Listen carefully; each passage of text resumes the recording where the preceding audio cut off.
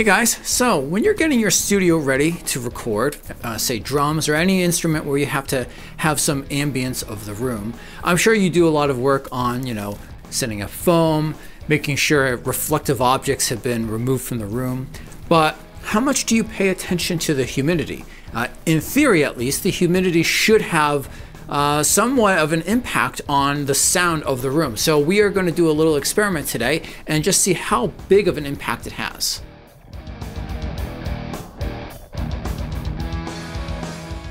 So before we get to the sound samples, let's talk a little bit about the setup I have and even before that, a little bit about just the theory behind why the humidity change should affect the sound. So as hopefully you know, as you increase the temperature of the air, the air molecules they have more energy and they're able to be spaced apart further right so there's more space between each um, molecule of air that allows more water to get in between to to kind of fill the air up. So your max amount of humidity increases as your temperature increases as well. So what does that really mean? That means that, you know, if it's getting hotter in the summer, it's probably also getting more humid and that increased water is making the air more dense. And this is effectively um, impeding these sound waves from being able to travel, right? They're not going to be able to, to move, in theory, move through as quickly. So to set up this sort of test, what I did was I did three beats, then you're, you were going to listen to them in a second. Um, and I played these three beats uh, two, twice over two different days. So the first day, I just ran a couple of humidifiers until it was actually hazy inside of this room. It was so humid. Then after that, that was kind of like in the middle of the day. Then I ran a dehumidifier until it got late in the day. Um, and then the next day, I basically ran it from morning until until evening. Uh, in total, between the humid day and the non-humid day, I took out a about I'd say about five gallons of water, and I'm not exaggerating there. I actually, as you can see here, I had a Home Depot bucket. These buckets are supposed to be about five gallon buckets, and I filled it all the way to the brim. So it's actually probably a little bit more than five gallons I took out. As far as room size, just so you can have uh, a little bit of a relation here, um, this size of this room is just shy of 1600 cubic feet. So that's five gallons of water out of a 1600 cubic foot room. As far as the sound samples are concerned, like I said, I do have three beats for humid and dry. Um, and we're gonna A-B those, but I didn't want to just do a straight up, you know, full mix wet, you know, full mix humid versus full mix dry, because the reality is that the further away the microphone is, those mics should have a bigger, should be impacted more by the humid or um, dry air.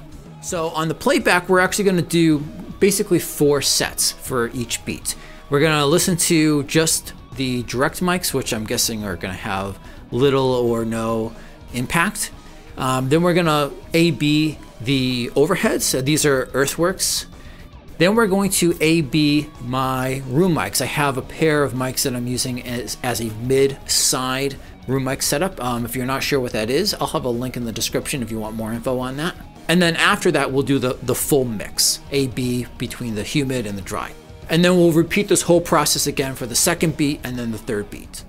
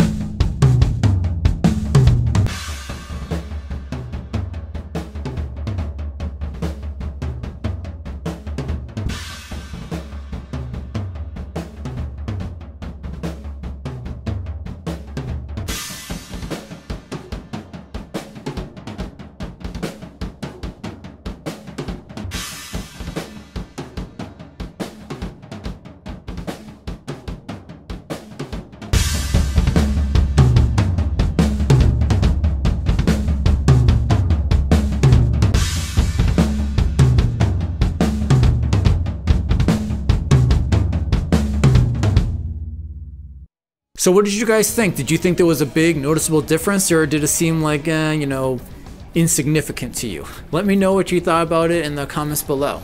I'm putting out a lot of other videos like this as well, things for helping you with, you know, your home recording setup and other things like, you know, drum lessons and reviews on cymbals and sticks. So if you don't want to miss out on all this great stuff, then don't forget to subscribe.